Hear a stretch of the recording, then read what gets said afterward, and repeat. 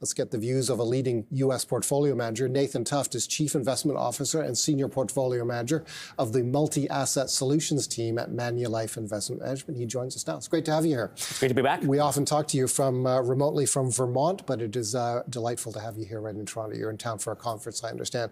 So, Goldman Sachs uh, is out this morning with a call that is much more cautious on U.S. stock markets uh, than it has been in the past. Goldman Sachs calling for uh, uh, annual gains of only 3% over the next decade in the S&P 500 as investors turn to other assets, including bonds, for uh, better returns. Now, I think a lot of people would say uh, making a call on the S&P 500 over the next decade is pretty tricky stuff. But I'd love to hear what your thoughts are on uh, on U.S. stocks at this juncture. I think their direction is correct. I, I think there's a lot more nuance to the story, though. The reality is the last 10 years for U.S. stocks has delivered something close to a 14% annualized return. Right. That's a big yeah. number relative to history. So yeah. it's easy to say it's unlikely to repeat that. But the question is, I do think the 3% is probably an underestimate given the earnings potential and the quality of earnings that U.S. companies can deliver. Now, our number is somewhere more in the mid single digits, mm-hmm. so it's still a lot lower than mm-hmm. what we've seen over the last 10 years, mm-hmm. but it's not to rule out that there's still opportunities in the United States.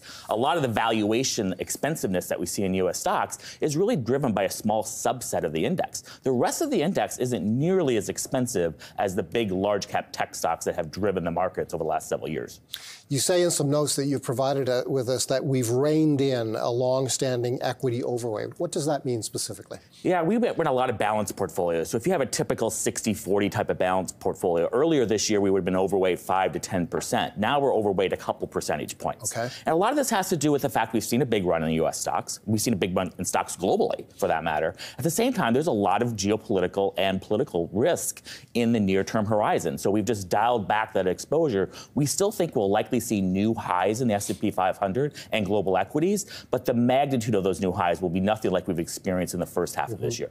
And we're going to talk about uh, Japanese stocks later in this pro- program, but you continue to be overweight the U.S. market, so you're not you're not bailing out of U.S. stocks by any stretch. We're not. Uh, we don't think you should be underweight the U.S. market. Obviously, take some chips and recycle them into other areas of the world, but there are other areas of the world that are looking more attractive than they have been over the last several years.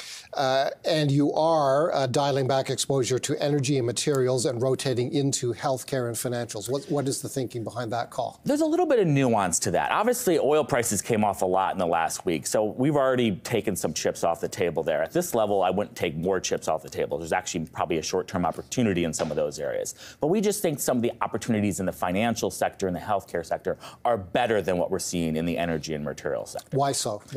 Generally speaking, if you look at the financial sector, one, valuations are pretty attractive. Two, they will actually benefit from a cutting cycle. That mm-hmm. might seem contrary to some people's thinking, but that generally will stimulate a healthier economy, more demand for loans, and, and obviously the, the quality of those loans and the potential for risk mm-hmm. is a bit lower in an economy where interest rates aren't mm-hmm. so high.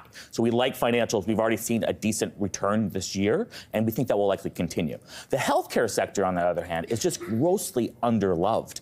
And the earnings expectation over the next couple years looks a lot better than what it has looked over the last couple years. Mm-hmm. And we've been wrong so far on this view. We've been saying this for about six to 12 months, but I do think it is setting up for a bigger opportunity looking forward over the next couple of years. In financials, uh, do you have preferences between, for instance, uh, big Wall Street money center banks and the regionals, uh, insurance companies versus banks, et cetera? More focused on the banks, both the regionals and the larger banks, um, partly because we'll continue to see consolidation in that industry, which has been happening for decades, but we think that trend will continue. But just holistically speaking, across the entire banking sector, there's a fair bit of attractiveness when it comes to valuations.